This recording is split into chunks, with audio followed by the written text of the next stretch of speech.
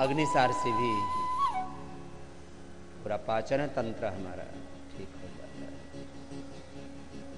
ये देह देवालय शिवालय है, ये ब्रह्म का धाम है।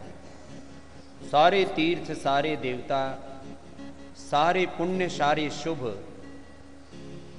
सारा इस ब्रह्मांड का कोई छोटा स्वरूप है तो ये पिंड है।